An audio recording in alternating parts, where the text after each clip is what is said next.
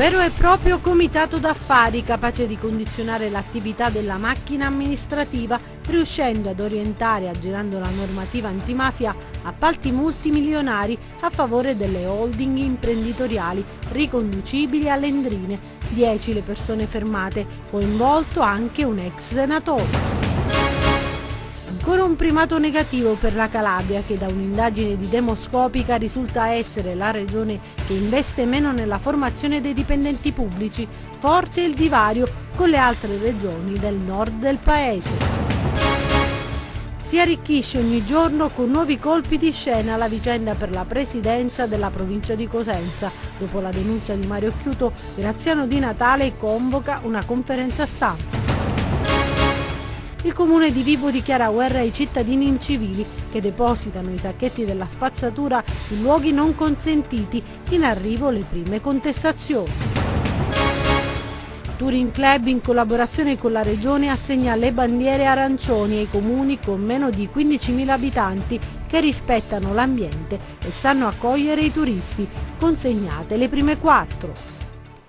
Buonasera dalla redazione di Tele Europa Network e benvenuti a questa nuova edizione in diretta del nostro telegiornale. Lo avete visto dai titoli, in apertura parliamo di cronaca con un comitato d'affari in grado di gestire la macchina amministrativa del comune di Reggio Calabria per indirizzare appalti pubblici verso holding imprenditoriali riconducibili alle cosche di Indrangheta. A portarlo alla luce sono stati i carabinieri del reparto di Reggio Calabria che stamani hanno eseguito un provvedimento di fermo emesso dalla direzione distrettuale antimafia nei confronti di 10 persone. Fra gli indagati figurano tutti colletti bianchi. Il nostro servizio, vediamo avrebbero condizionato la macchina amministrativa per favorire un comitato d'affari in odore di indrangheta, pilotando appalti milionari in cambio di posti di lavoro e consulenze per parenti e amici. Con queste accuse la DDA di Reggio Calabria, guidata dal procuratore Federico Cafiero De Rao, ha posto in stato di fermo 10 persone ritenute responsabili a vario titolo di concorso esterno in associazione mafiosa, turbata libertà degli incanti, truffa aggravata, corruzione per un atto contrario ai doveri d'ufficio, induzione indebita a dare o promettere utilità, intestazione fittizia di beni, estorsione aggravata dal metodo mafioso. L'attività di indagine avviata nel 2013 dal reparto operativo dei Carabinieri Reggini e mirata a verificare il buon andamento del settore lavori pubblici del Comune di Reggio ha dimostrato l'esistenza di un'organizzazione composta da imprenditori, funzionari pubblici e dirigenti, tra i quali il potentissimo Marcello Camera, per anni direttore del settore lavori pubblici di Palazzo San Giorgio, recentemente spostato insieme ad altri colleghi per la rotazione voluta dal sindaco Falcomatà che da poco ha fatto sapere attraverso una nota stampa che l'amministrazione ha proceduto alla sospensione immediata dal servizio con privazione della retribuzione per i dipendenti comunali coinvolti nell'inchiesta. Per la verità questo è un tema sul quale si è eh, tornati più volte, quello dell'esigenza di intervenire anche sulla parte eh, dei eh, dipendenti pubblici quando hanno un ruolo direttivo. Pensare che la sola parte elettiva, eh, modificandola e cambiandola, dia al Comune la possibilità di rinnovarsi totalmente, credo che non corrisponda esattamente a quello che è lo stato delle pubbliche amministrazioni, laddove ad operare attivamente e a formare gli atti sono i dirigenti amministrativi che di volta in volta vengono guidati, è vero, o possono essere guidati quando hanno la forza no, nei, eh, in relazione ai eh, direttivi, ma certamente non sono loro a, a fare e formare gli atti. Quindi probabilmente in materia di scioglimento bisogna pensare a qualche rimedio che consenta di affrontare anche questi aspetti. Io parlo sempre del controllo, quantomeno di legittimità degli atti. Ho un controllo di merito limitato casomai a determinate eh, iniziative, ma è certo che spetta al legislatore poi individuare quale può essere la strada migliore per affrontare questo tema.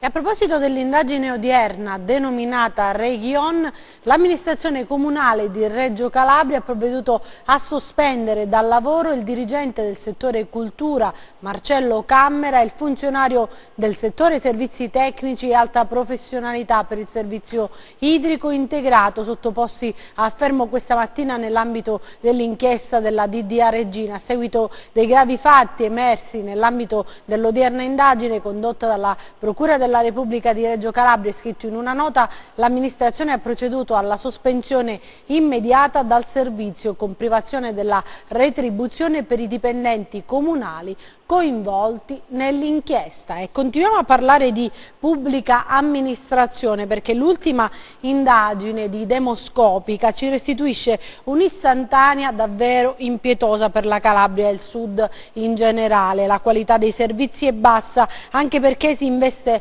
poco in formazione, contrariamente a quanto avviene nelle regioni del nord Italia. La Calabria ancora una volta è agli ultimi posti, particolari nel servizio di Marisa Fallico. Sentiamo.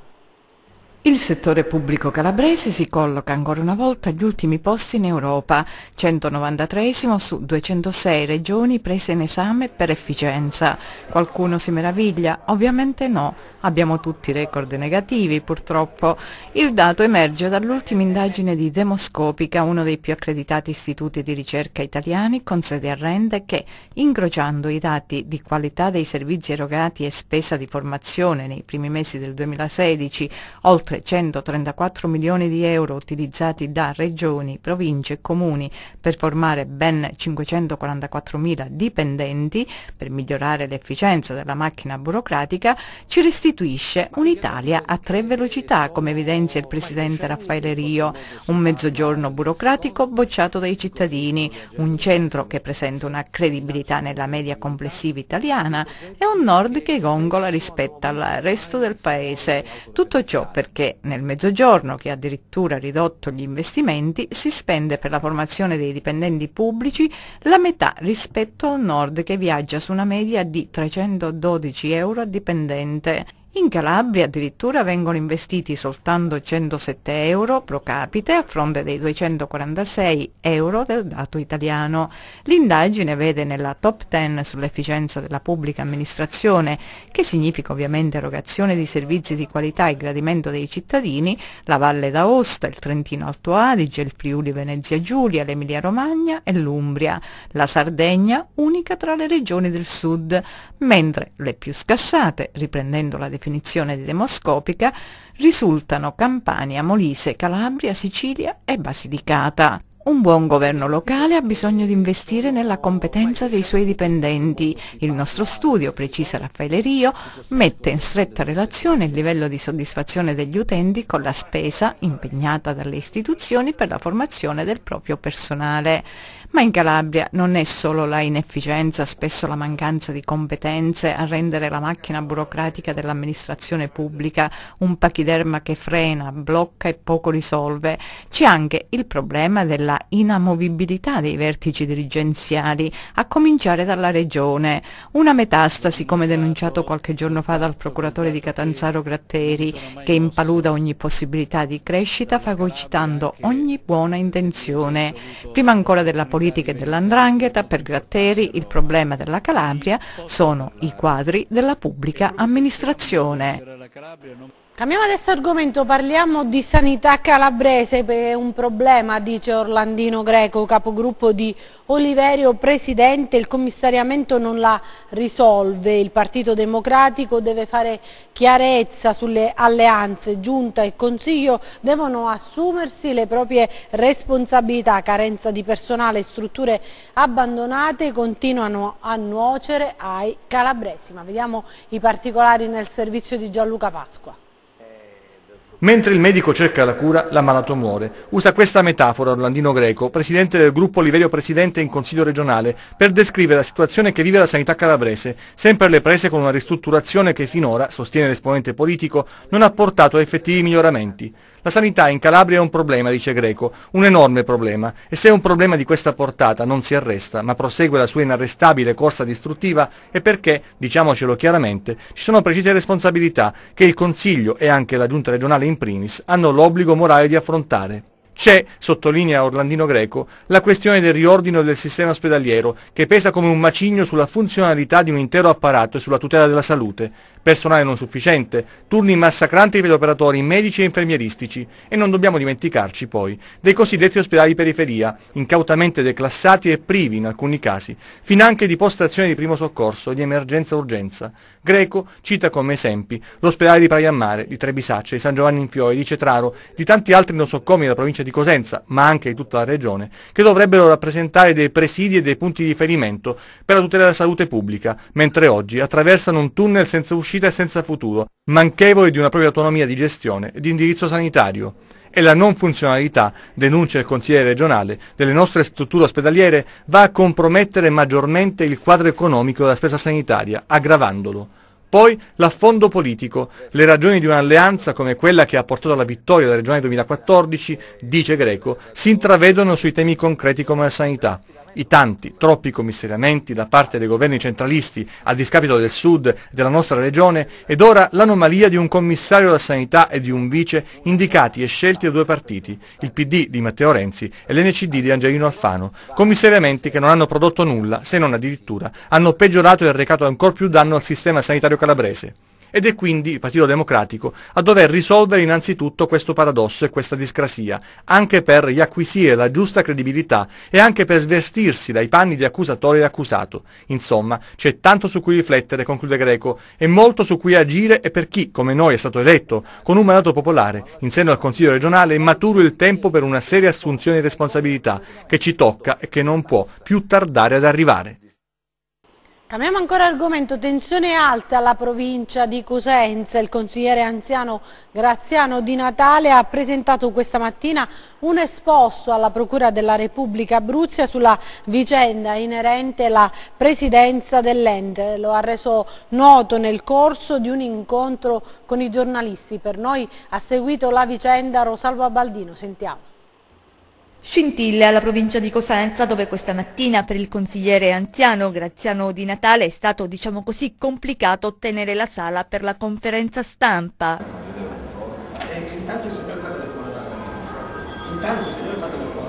Però lo sanno schierare. Sì, lasciate alla stampa dovete schierarli. No, ma... Alla stampa dovete schierarla, se io sono un consigliere provinciale prima di ogni cosa, fatele accomodare. Fatele accomodare. No, io ho Ah, a disposizione. La io sono da questo, Io, accomodare. no, io ho a disposizione, mi dispiace. Ci sono due consiglieri provinciali, Dove sta la dirige? e andatevela a chiamare. No, no, andatevela a chiamare che deve qua. Risolti i problemi burocratici, nel Salone degli Stemmi di Natale ha reso noto di aver presentato un esposto alla Procura della Repubblica di Cosenza. Si complica la vicenda sulla presidenza dell'ente. Di Natale ha consegnato alla stampa i documenti nell'ordine la sentenza del TAR del 17 maggio 2016, l'appello della provincia e l'appello incidentale di Mario Chiuto al Consiglio di Stato, Consiglio di Stato che si è pronunciato con una sentenza. Il Consiglio di Stato con l'ordinanza 7 del 7 luglio ha disatteso l'appello principale della provincia di Cosenza, l'appello incidentale di Mario Chiuto e ha confermato la sentenza del TAR Calabria che ha dichiarato decaduto dalla carica di Presidente della provincia di Cosenza Mario Occhiuto, conseguentemente ha dichiarato nulli tutti gli atti da esso proposti. Diversa la posizione di Mario Chiuto. La sentenza del TAR che è stata confermata dal Consiglio di Stato riguarda la nomina del vicepresidente e la permanenza in carica di un consigliere provinciale. Sentenza fra l'altro che dovrà essere discussa nel merito ancora dal Consiglio di Stato, quindi aspettiamo anche il merito poi della decisione. Non riguarda però la figura del presidente, che per oggi rimane in carica. Nell'ente la tensione resta alta. Parliamo adesso di emergenza rifiuti perché il comune di Vibo Valencia dichiara guerra ai cittadini incivili che depositano i sacchetti della spazzatura in luoghi non consentiti. In arrivo ci sono le prime contestazioni, vediamo. A questo punto bisogna passare ai fatti, alle azioni, perché l'emergenza rifiuti a Vibo Valencia è in realtà un'emergenza civica, nel senso che è il frutto avvelenato di una cittadinanza che non ha rispetto della propria città, che ha perso il senso civico ed agisce con il disprezzo delle regole. Siamo in pieno centro cittadino, di fronte alla biblioteca comunale ed è da poco scoccato mezzogiorno. Le nostre telecamere riprendono persone che si avvicinano ai cassonetti dell'immondizia e vi versano i loro sacchetti, incuranti del fatto che vi è un preciso divieto, mentre sono precisati chiaramente le ore in cui questo deposito deve avvenire. Di più, la sequenza fotografica che proponiamo registra la situazione che nello stesso luogo oggi come ogni giorno accade dopo le 8 del mattino, cioè dopo che sono passati i mezzi che hanno svuotato i cassonetti accumulatisi durante le ore notturne. Un'inciviltà che si trasforma in disprezzo per la propria città, una sfrontatezza, una maleducazione che non può essere ulteriormente tollerata. Ed allora ben venga il giro di vite finalmente attuato dalla Polizia Municipale. In meno di 24 ore il risultato è eclatante e deve far riflettere. Già 20 sanzioni a carico di cittadini responsabili di aver gettato i rifiuti al di fuori dell'orario consentito o addirittura al di fuori degli stessi cassonetti. Si dà così atto, spiegano i municipi, alle direttive impartite dal sindaco Elio Costa in materia di decoro urbano, ma ciò che serve e deve essere imposto è un rispetto per il bene comune, che è amore per la propria città. Da qui l'invito ai cittadini ad adeguare i comportamenti a quelle che sono le regole del vivere civile. E c'è una notizia adesso che riguarda i rifiuti perché è stato revocato lo sciopero del settore igiene urbana previsto per il 13 e 14 luglio, inizialmente per l'11 e il 12 poi spostato. È stato infatti siglato nella giornata di ieri l'accordo per il rinnovo del contratto di lavoro nazionale dei lavoratori delle aziende pubbliche dell'igiene ambientale aderenti a Utilitalia. Adesso una notizia di cronaca che arriva da Catanzaro dove un 27enne originario del Marocco è stato arrestato per maltrattamenti in famiglia, lesioni personali volontarie aggravate e resistenza aggravata a pubblici ufficiali degli agenti delle volanti della questura di Catanzaro. I poliziotti sono intervenuti in un appartamento del centro della città dal quale si sentivano provenire le grida di una donna. Giunti sul posto gli agenti hanno bloccato l'uomo che con fare minaccioso continuava ad avere un atteggiamento violento nonostante fosse già presente un agente che pur se libero dal servizio era intervenuto. Secondo la ricostruzione della polizia l'uomo aveva iniziato a discutere con la compagna per poi malmenarla e offenderla per futili motivi. Per non far sentire le urla della donna l'uomo ha alzato il volume dello stereo ma le grida sono state comunque udite dai vicini che hanno chiamato il 113. Adesso vediamo i nostri 100 secondi secondi di cronaca. I finanzieri del nucleo di polizia tributaria di Crotone, su disposizione della Procura della Repubblica, hanno notificato gli avvisi di conclusione delle indagini preliminari a 15 amministratori della Soacro SPA, società per la gestione del servizio idrico nella provincia di Crotone. I reati contestati sono quelli di false comunicazioni sociali, abuso d'ufficio e, a seguito della declaratoria di fallimento, bancarotta fraudolenta. L'operazione denominata Acqua Chiara è stata coordinata dalla Procura della Repubblica di Crotone, rilevata una serie di affidamenti illegittimi nel periodo 2011-2015. Sarebbero stati stipulati diversi contratti di cottimo fiduciario e lavori di somma urgenza che non potevano essere considerati singolarmente e che superando il limite di 40.000 euro andavano concessi attraverso le normali procedure e nel rispetto dei principi di trasparenza, rotazione e parità di trattamento stavano pescando trote di frodi in un torrente utilizzando un generatore di corrente elettrica. Tre persone sono state denunciate a Petita Policastro dagli uomini del comando provinciale del Corpo Forestale dello Stato di Crotone. I tre, tutti originari di Mesoraca, sono stati sorpresi durante un servizio di controllo sulla sponda di un corso d'acqua.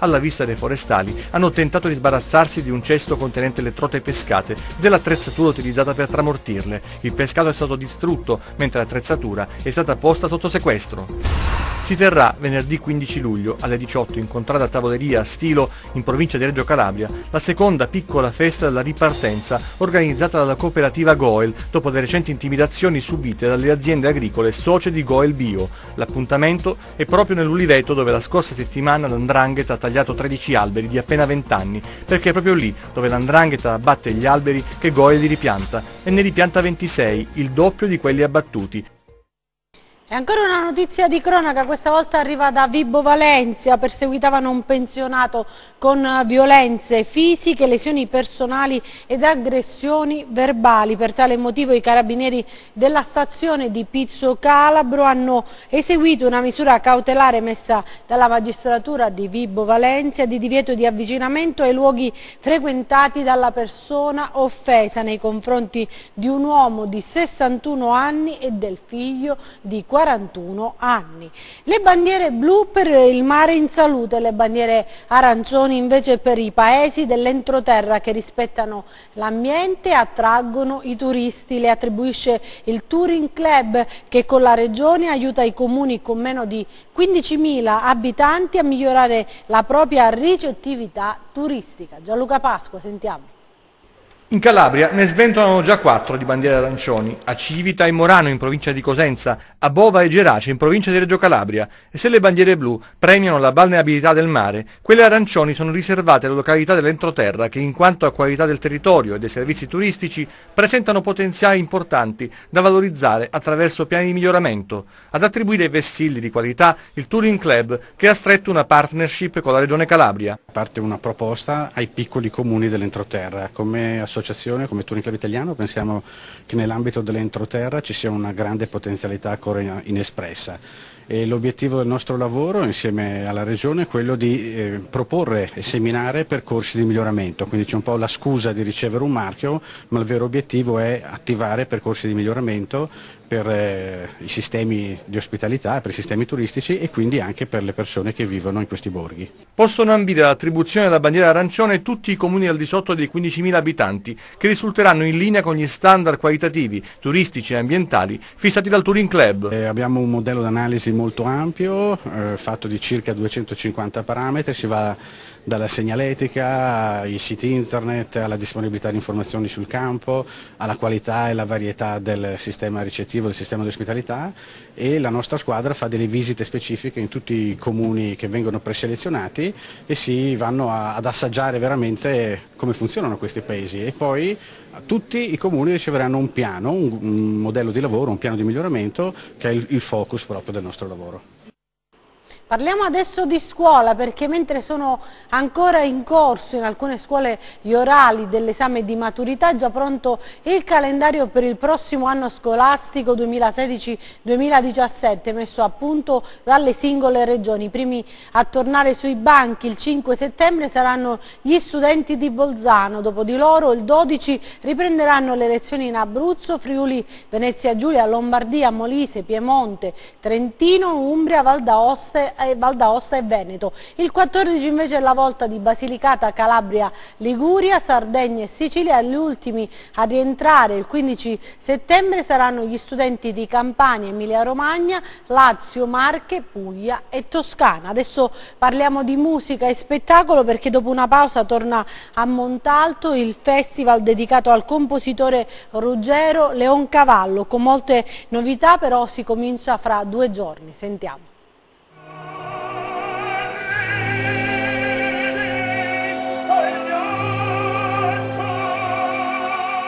Dopo la classica pausa sabatica ritorna il festival lirico dedicato a Ruggero Leoncavallo, cittadino insigne di Montalto Fugo. Il progetto è totalmente nuovo, la musica sarà protagonista ad ogni livello, sarà l'arte ad entrare in scena e si pensa anche di poter produrre tra due anni la grandiosa opera lirica Pagliacci. Il concorso lirico vero e proprio si farà probabilmente dopo i mesi estivi. Intanto giovedì 14 luglio ci sarà il premio Oscar Nicola Piovani. Il Festival è un cavallo è una formula nuova sicuramente quest'anno che si apre a molti generi musicali, che si apre alle realtà calabresi e che cerca di valorizzare delle iniziative già presenti sul territorio di Montalto.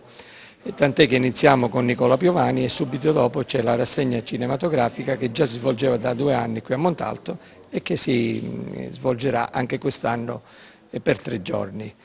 E stiamo lavorando per dar vita a un progetto che avrà il suo importante epilogo nel 2018 con la produzione dell'opera I Pagliacci. Il percorso di questo festival si snoderà tra poesia, arte, cinema, jazz, tango e teatro, ma il festival vuole cambiare fino ad arrivare a durare un anno intero. La critica che facevo al festival era proprio questa, era quella che sembrava si riducesse quasi esclusivamente a due serate e poi per, per un anno non se ne parlava più. Noi invece vogliamo cercare di dare una certa continuità eh, a, questa, a questa iniziativa e quindi praticamente questo comporta anche la possibilità di eh, stralciare alcune parti del, del, festival e di spalmarle un po' su tutto, su tutto l'anno. Il gran finale di questa edizione del Festival Leoncavallo sarà naturalmente dedicato alla musica lirica. Il 27 agosto è in programma lo spettacolo Leoncavallo e dintorni e domenica 28 agosto la serata di gala, come da tradizione, sul sagrato del Duomo della Madonna della Serra.